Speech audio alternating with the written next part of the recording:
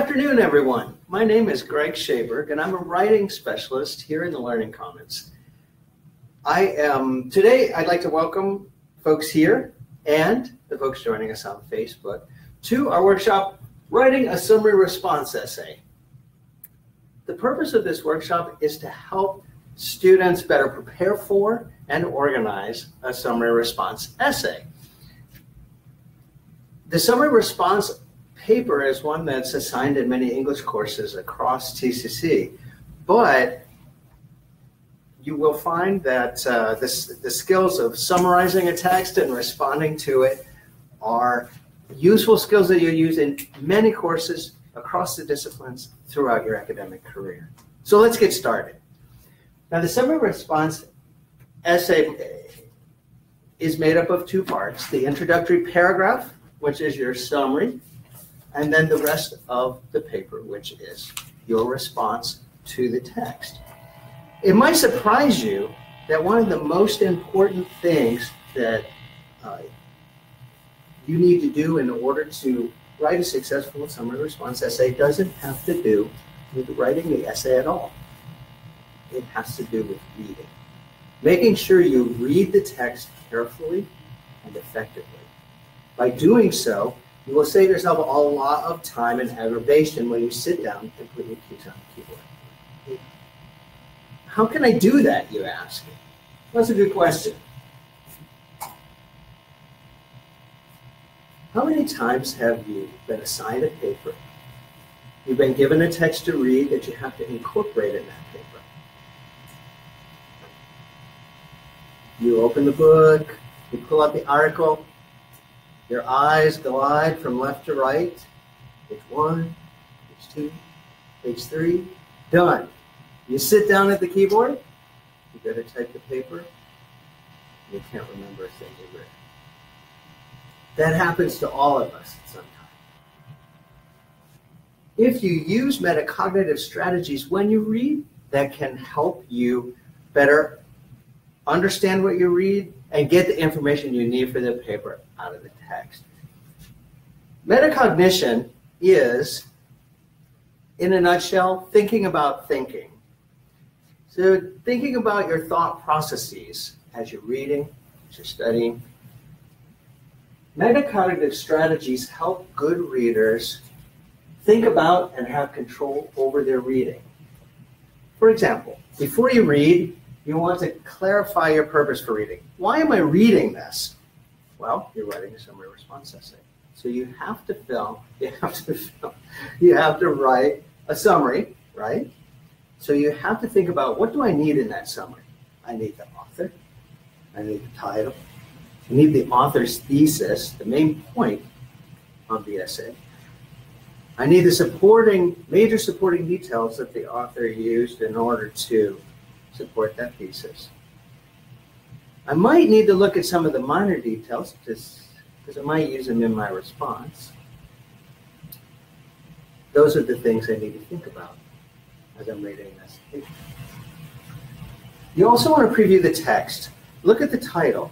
What does the title say to you? What's the topic of this essay? Who's the author? Is there biographical information about the author? Ask. Ask yourself these things. Skim through. Do you see any charts, graphs, pictures that might indicate where the author's headed or what the topic is about? This helps you access your previous information on the topic. While you're reading, you want to monitor your understanding. You want to keep asking yourself, do I understand what the author is saying? Do I understand the author's main point? If you come across words that you don't understand, circle them, highlight them, underline them. And if you can't figure them out in context, look them up. Also, you want to actively engage with that text. You want to take your book or the paper that your assignment is printed on, and you want to highlight, you want to underline, you want to circle, you want to make notes in the margin. Say things like, wow, that's a good point, or oh my gosh, I totally disagree with this. You might say, wow, this detail reminds me of when my grandpa and I went fishing at Flathead Lake, Montana. This will help you when you're writing your paper because you need to pull those details into the paper in either the summary section or the response section. Finally, you want to adjust your reading speed. If you're reading an article that is difficult, let's say it's dense, it's got vocabulary that you're unfamiliar with, perhaps it's eh, from a field that you're unfamiliar with, slow down, take your time. Make sure that you understand. Keep asking yourself, do I understand the points? Do I understand where the author's headed? And then afterwards, check your comprehension. Did I understand the author's main point? What were his supporting details or her supporting details? Ask yourself these questions to make sure that you understood what you were reading. And if there's anything that you have a question about, go back and take a look. You might need to do a little more reading, a little more research. Okay? Any questions? Um, not so far. Okay, great. So, we've now read our, we have now read our piece, you know, our article that we were assigned. We've marked it all up like this. We've made notes in the margin. We've highlighted.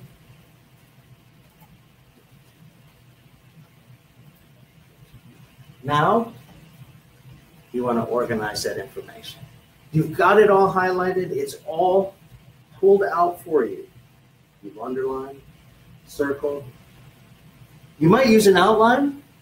You might use something like this graphic organizer, where you create boxes that contain the information you need for your summary and for your response. So first, you might put the topic or the title, the author, because your reader needs to know what it is you're summarizing. You need the main idea of the reading. That's the author's thesis. What was the author's main point? Put that in a box. What are the major supporting details that that author used in order to support the thesis? Those will go in the next level. Now, at this point, that's all you need for your summary. The minor supporting details you don't want, and I'll talk a little bit about that in a moment. But you might want some of those minor supporting details for your response. So, if there are a couple of details that you highlighted in the text that were interesting to you, go ahead and put them in. You might use them in the future.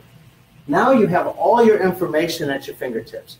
You might even want to put a box for your thesis. What is you, my thesis going to be for my paper?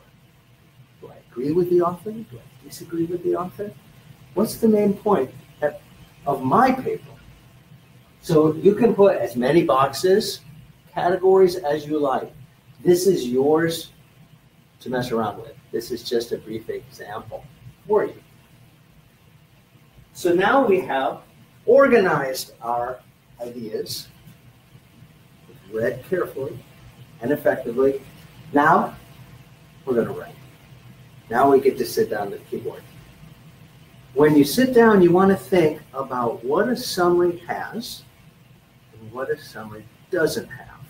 Make sure that you have that clear before you start to write. So let's talk about what a summary is and what it isn't. Summary is an objective simplification of an author's text in your own words it's simplified. You're not rewriting what you've read, and you're not giving your opinion at all. Instead, you are just stating the facts. This is the author, this is the title, here's the thesis of that author, and how he or she supported that thesis. That's all you're telling me. It's like a newscaster. You're just reporting the facts. You're not giving me any of your opinion. Your opinion will be in the response section. It's always shorter than the original version. And to be honest, in this particular, with this particular assignment, you don't want your summary to be any more than three to four sentences. That's all. Three to four sentences. That should pretty much sum up what you've read, give your reader a good idea what the author's main point was, and then the rest of the paper will be response. You're going to want your summary to include the essay's title and the author's name, the author's thesis, and the main points of the article, which I've said probably about 100 times.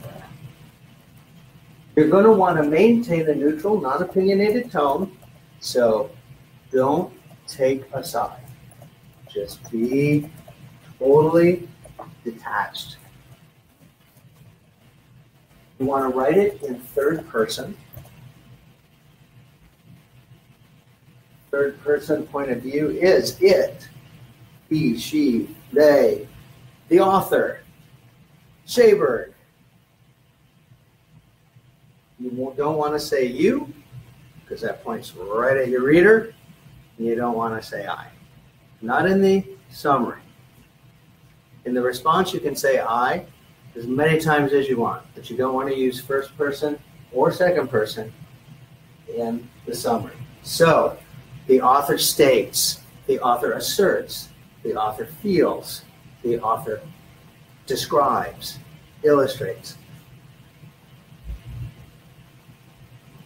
Notice too that when I said that, I used describes, illustrates, discusses, all present tense verbs. Your verb will always be, when talking about the article, your verbs will be in the present tense, not in the past. You won't say the author discussed, or the author said, or the author felt. It's always going to be present tense. The author feels, the author describes, the author illustrates. So make sure that you have reminded yourself that you need to include these elements in your summary before you write. So now we're going to write the actual paragraph, okay? Formulas are great in math, but English teachers, we get a little nervous when we give students formulas. And I'll tell you why. Because we, as students and as instructors, know how easy it is when you get a, a formula to kind of fall into the habit of always using that formula to write with. For example, when I was in high school, I was told a, an essay should be five paragraphs. That's it. And I got into college, and my instructor said that my paper should be 750 to 1,000 words. And I thought, whoo, those are going to be some long body paragraphs if I only have five paragraphs. Didn't realize that an essay can have as many paragraphs as it needs in order to adequately support the thesis. Once I learned that, then I started to branch out and I started to write more than five paragraphs in an essay. But it was really hard for me to break out of that mold. So realize when I give you this that it's only an example. It's not the only way to write a summary, but it is a way to write a summary. And it has all the elements that you'll need to write the summary. So what you want to do in your summary is start with a lead in or a hook. You want to get your reader's attention, okay? But the way you get your reader's attention should always relate to the topic you're going to discuss. Don't throw them off. Don't say something like, sex. Now that I have your attention, let's talk about the importance of recycling aluminum cans. You don't want to do that. it's totally opposite of what you what you're going to talk about. Your reader's going to be upset and probably a little confused. So you don't want to do that. Instead, give me a hook that gets my attention, but it focuses me on the topic you're going to discuss. It could be a statistic, it could be a, a, a quote, it could be a personal story, anything to kind of reel me in. That's what you want to do. You don't want to lose your reader on the first sentence. So get my attention. Then start your summary. Once you start your summary, you'll have, you could have, again, in the article, let's say, five easy ways to write a summary response paper. You'll put that in quotations. Then you put the author's name, Greg Shaberg. So in the article, Five Easy Ways to Write a Summary Response Paper, Greg Shaberg outlines you give me some sort of verb that describes what the author did. Now, in the Learning Commons, we have these handy bookmarks. They say on the front, writing a summary. On the back, they have a list of verbs that you can use. Because a lot of times we get into the habit of saying, the author says, Shabrick says, and those are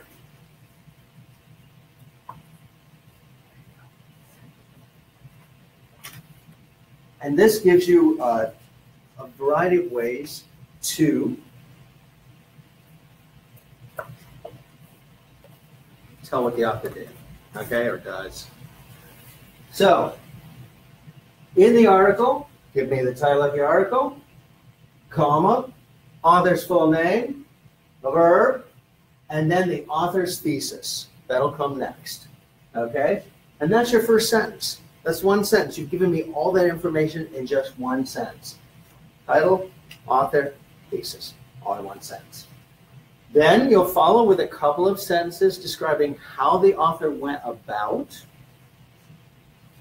supporting that thesis. And then you'll give me your thesis. What is your main point of the essay? Maybe you agree with the author's point of view. Think that's helpful. Maybe you disagree with it. Maybe you agree with some, but not all. Maybe you personally connected to something the author said. Give me your thesis. And then you're done with your introduction. Now you have pulled, if you if you wrote a working thesis on your graphic organizer, you pulled all of this information from that graphic organizer. You could even have a, have a box for hook on there. And the summary will pretty much write itself. So, get your reader's attention, then begin your summary. In the first sentence, you'll have the author, the author's name, the article, the thesis that the author had, the main points the author used in the next portion to support that thesis, followed by your thesis. End of your introduction. That's it. That's the summary. You're done. Now it's you. Now it's time to respond. Now, when you respond to the reading, you can do it in a variety of ways. You have a lot more freedom here. Now, if your essay is, let's say, 750 words, that's about three pages, you're probably going to want to take an angle that you feel personally connected to and passionate about so that you have enough to say. You could perhaps agree, like I said, with the author's premise. And you can tell me why. You take the author's points and tell me why you agree with those points. You could disagree with the author. You could give those author's points. And you could tell me why you disagree. You might consider both sides of the argument. You might show the author's side and then talk about, hey, there's another side to the story here, and talk about that. You might personally relate to those supporting details. You might have some personal connection to something the author said that you want to talk about, or sometimes instructors have you write your own perspective. Well, here's the author's perspective on this. Here's mine. So you'll give your perspective on the topic. So you could respond to that essay or that article in any of these ways. So how do you organize that portion of the paper? It's easy. If you take the agree disagree approach, then what you do, I, I hesitate to say paragraph one because it's not three paragraphs here. So instead, let me say instead of paragraph, section one. Section one of your body could be one paragraph, it could be three paragraphs. But section one, you put the author's point from the text, and then you agree or disagree with them, or show both sides. In section two, grab another point that the author had. Agree, disagree, or show both sides. Third section, grab a third point that the author made. Agree, disagree, show us and so on and so on until you feel you have adequately supported your thesis. If you select the supporting idea approach, then you pull supporting ideas, some details from the article you read or the essay you read. And in section one, you'll give that first supporting detail and you'll comment on it. Maybe a personal connection, perhaps a different perspective. Second supporting detail, your response. Third supporting detail, your response. And know that these details, that, that your response to these details or to these points that the author's making can be more than one paragraph. Two paragraphs, three paragraphs. And then you move on to the. So your summary is detached from you, third person, author, title, thesis, author's thesis, points that the author used to support that thesis, and your thesis. And then your response is all you. Do you disagree? Or let me pull some supporting details and show you how. to do it. Well, that in a nutshell is writing a summary response essay. I, I hope that those tips helped you. Um, I thank you for watching, joining us on Facebook. If you'd like more information on writing a summary response essay, or you just want someone to look over your essay for whatever course you're taking, please come to the communications area at the Learning Commons on the second floor. Check in at the desk, and one of our tutors will be glad to work with you. Again, thank you for joining us, and I can't wait to see you here. Learning Commons. Bye bye now.